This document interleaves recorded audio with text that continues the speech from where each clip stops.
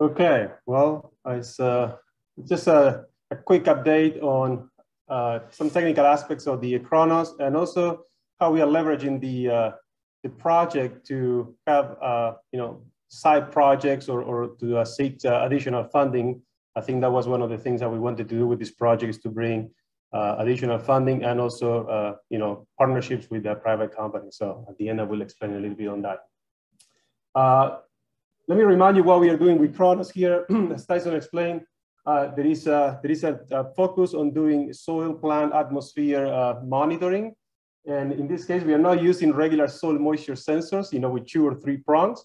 And the idea is to have something is non-invasive uh, and something that actually covers the entire area of the field. So that can give us the, the average of the field so that we can have a better representation of the soil moisture conditions and also we can probably uh, compare that to remote sensing uh, sources. So that's, that's the, the unique idea. And also the technology is fairly new, so there is a motivation for doing research. And what you see here is on the, I don't know the laser, but this one uh, right here, the VF3 system is the, uh, the system that we started to use at the beginning of the experiment.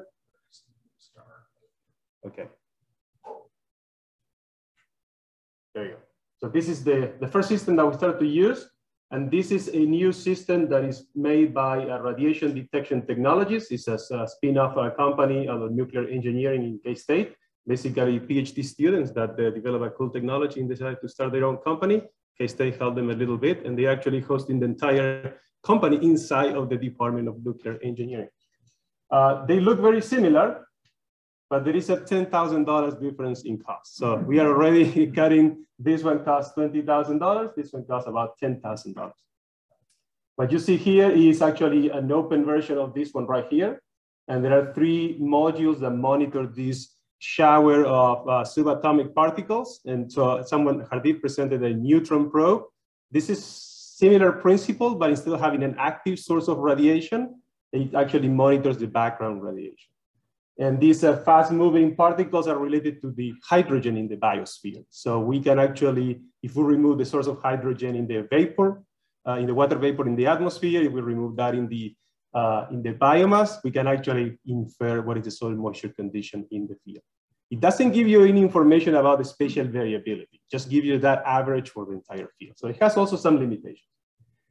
And what you see here is, uh, uh, you know, once we, we tested, we proved that they are pretty much giving the same uh, information. They are really accurate. Uh, then we order uh, six more.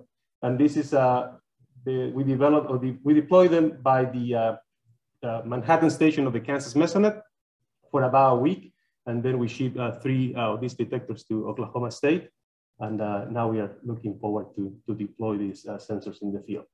Um, so and this actually is the, uh, the very first paper that came out of the, of the Chronos project that was published a few years ago, a few years, a few weeks ago.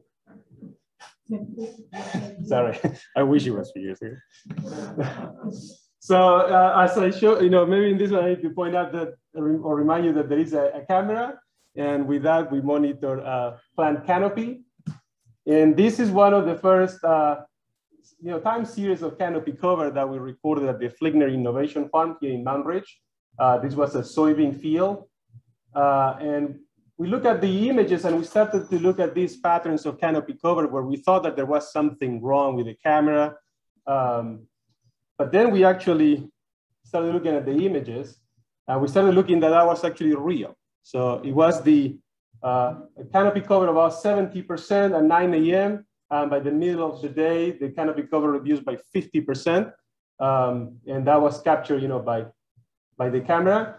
And so, you know, we have soil moisture conditions that are monitored by the Chronos and the atmospheric conditions. So now we can start relate uh, these uh, sub-daily canopy changes with the additional, additional variables that we are monitoring.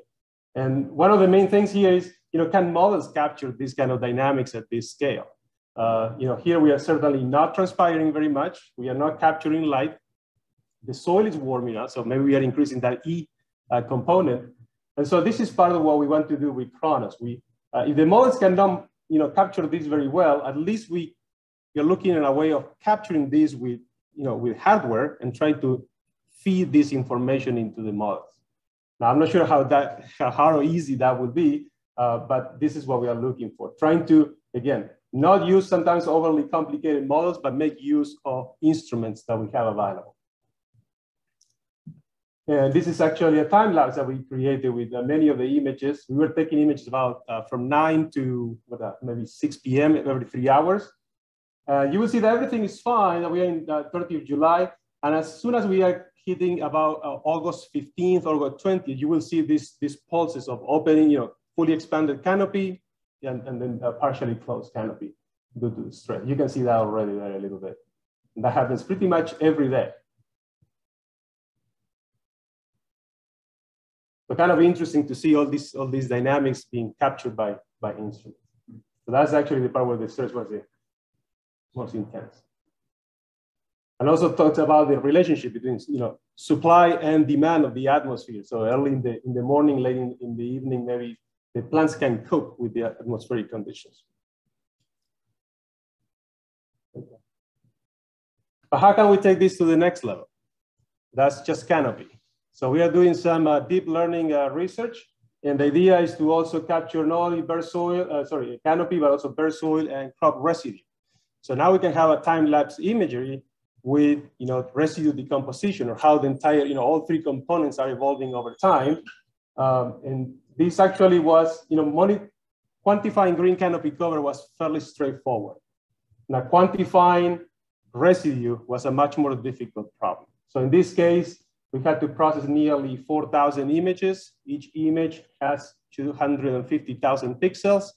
And so we ended up labeling near a billion uh, pixels uh, with some, with some assistance of the computers. But you know, there was a student behind, you know, deciding which pixels were canopy, which pixels were soil, and which pixels were residue. And this is an example of how, you know, it's actually pretty accurate uh, for images are very similar to uh, the, the training example. And so it works pretty well, I would say, in 80, 90% of the cases. And this also brings some, you know, um, the idea is to create a tool that can help us to assess the impact of, uh, you know, soil and water conservation practices, conservation tillage, you know, that we can, we can uh, use this to quantify.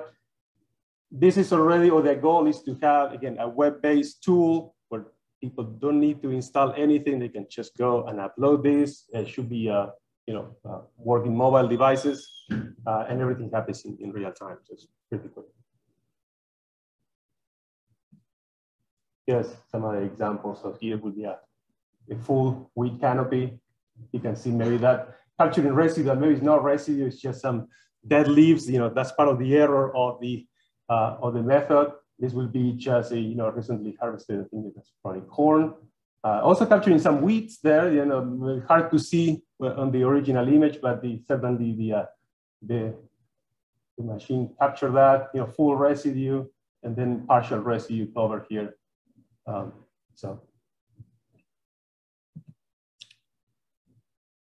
So one of the uh, things that we tried to do in the past year was also trying to leverage uh, additional funding uh, we actually were successful to secure a, a, grant with the NRCS to develop a set of uh, coordinated soil moisture uh, test beds.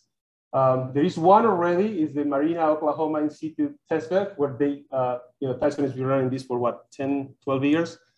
And they basically have all sorts of uh, soil moisture sensing technologies, from regular sensors to, you know, the, the Cosmos that we are using, GPS sensors, and all sorts of other, uh, you know, hardware related to soil moisture monitoring from different research groups across, across the country. And it serves as a platform for comparing these technologies. And so what we wanted to do is to maybe uh, add a little more uh, input to this one, renovate it, uh, and then also deploy uh, three more across the country. So there will be one in uh, K-State, there will be one in Texas A&M, and there will be one in the USDA ARS in uh, Beltsville, Maryland. They will have something like what you see here, there will be a central, a central uh, piece of land with these technologies and then three additional replications in, in one field. So four replicates per site.